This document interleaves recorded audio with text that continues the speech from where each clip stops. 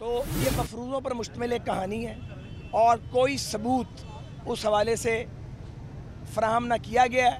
جب بھی ہمیں نیب میں بلایا گیا ہے انہوں نے باتیں کی ہیں ثبوت نہیں دیے۔ الحمدللہ ہمارا ضمیر مطمئن ہے اور ہاتھ صاف ہیں۔ مجھے معلوم ہے میرا اصل جرم کیا ہے۔ میرا میرا اصل جرم میرا اصل جرم یہ ہے کہ میں مسلسل میں مسلسل بات کرتا ہوں میں ایک موقف رکھتا ہوں۔ میں ایک نظریے کا علم بردار ہوں۔ جب بھی حکومت بدلتی ہے، مجھے جیل یاترا کرنی پڑتی ہے۔ یہ پہلی بار نہیں ہے اور سیاسی انتقام کا میرا خاندان مسلسل نشانہ بنا ہے۔ میرے وا، میرے والد کو اسی اشارہ قائد اعظم پہ پنجاب اسمبلی کے عقب میں سیاسی انتقام کا نشانہ بنا کر شہید کیا گیا۔ جنرل پرویز مشرف کے دور میں فزیکل ٹارچر کروائے اب نے اس وقت بھی نیب پیچھے لگی۔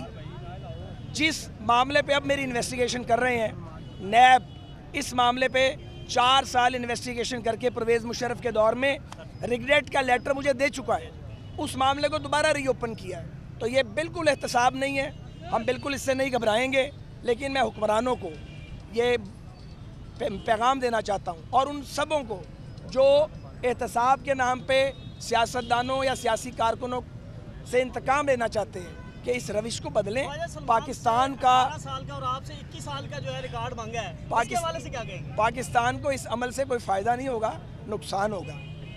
اور اب- اب سلمان صاحب کو اور مجھے اٹھارہ سے بیس سال پرانا ریکارڈ مانگا ہے۔ وہ اٹھارہ سے بیس سال پرانا ریکارڈ بھی ہم دینے کی پوزیشن میں ہیں۔ جس اکاؤنٹ میں سلمان صاحب کا اور میری اہلیہ کا ذکر ہے اس میں کل رقم چودہ ملین کی ٹرانزیکشن ہوئی تھی۔ اور میری مسز کا اور میرے بھائی کا اس میں ٹوینٹی سکس پرسینٹ بتایا گیا ہے۔ وہ حساب تو ہم ہر وقت دینے کے لیے تیار ہیں، مگر یہ ابھی تک مجھے سمجھ نہیں آئی کہ اگر آپ کوئی کمپنی بناتے ہیں پاکستان کے قانون کے تحت، اٹھارہ سال پہلے بناتے ہیں اور تین چار مہینے میں وہ کام نہیں چلتا، بند ہو جاتا ہے، تو کیا یہ قانون جرم ہے؟ اور ابھی تک کوئی بنی ٹریل بھی ان کے پاس ہے بھی نہیں اور دی بھی نہیں۔ ہم جاتے رہے ہیں نیب باتیں ہی باتیں ہیں۔